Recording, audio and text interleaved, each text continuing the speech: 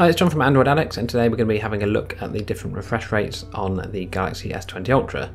Now, I've set the refresh rate here to 60, 96, and 120, and I'm just going to scroll through my Gmail here to see what difference each refresh rate makes. So, I'm not going to comment too much on this, I'm going to let you guys decide what is the best refresh rate and whether you can actually see much of a difference at all. So leave any comments you have down below and be sure to subscribe to my channel for more videos in the future.